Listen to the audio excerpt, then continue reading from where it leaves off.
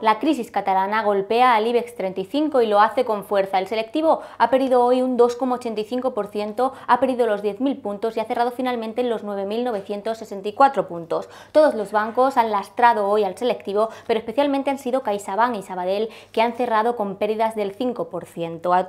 El selectivo ha hecho frente hoy a una noticia que confirma que los bancos catalanes están preocupados por todo lo que está ocurriendo en Cataluña, y es que CaixaBank ha distribuido un comunicado entre sus empleados que afirma que hará todo lo necesario para garantizar la seguridad de sus depósitos. A todo esto se suma la decisión de Horizon que comunicó anoche a la CNMV que trasladará su sede de Cataluña a Madrid. Esta decisión le ha llevado a subir un 13% hoy. Aparte de los bancos, también han registrado pérdidas destacadas la inmobiliaria catalana Colonial, que ha cerrado con pérdidas del 5%, y también Merlin, que ha cerrado con otro, otra pérdida del 4%. En el lado de las ganancias, solo tres valores han cerrado finalmente la sesión en positivo. Han sido Avertis, que ha subido un 0,9%, Siemens Gamesa y ArcelorMittal. Esto es todo, pueden seguir informados en bolsamanía.com.